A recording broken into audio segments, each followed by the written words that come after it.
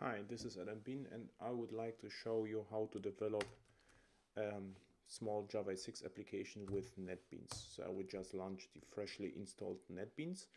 It is the Java E edition. It comes with packaged uh, uh, Glassfish 3.1.2 and a Derby database.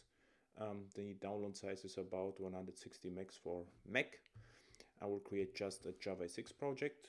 It is a web project, it's a web application and I will call that um, hello beans.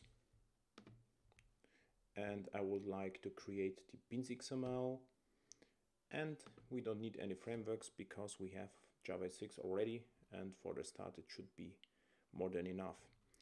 So um, what NetBeans created is a small JSP page. And I would just to test that. And what I just did I run the project. And what it means it compiles everything it starts the derby and then glassfish and deploys the application opens the browser window and I expect the um, hello world um, hello world font in the browser so glassfish started and the application is deployed. So let's create a JSF page. I will call that index finish.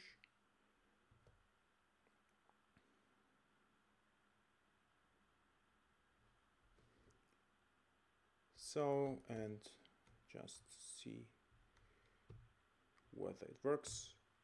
As you see, hello from Facelets, it works.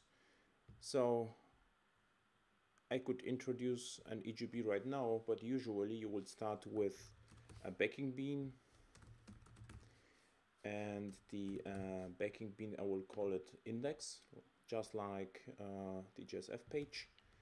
And the backing bean there is a has a model annotation and what model is it's just request scoped named bean. Uh, string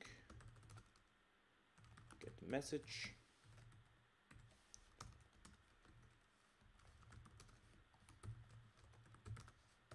Plus class fish to rock.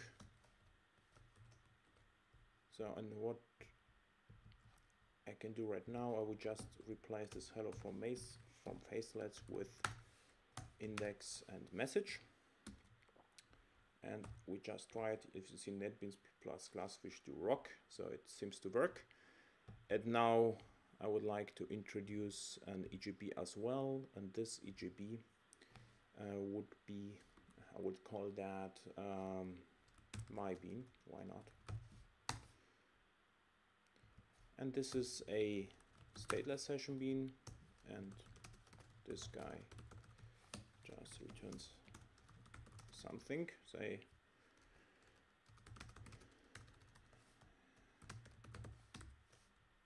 so and I forgot the semicolon so then I can just inject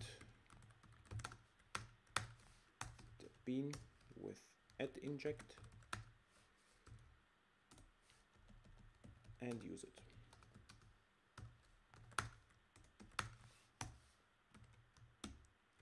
Let's try that.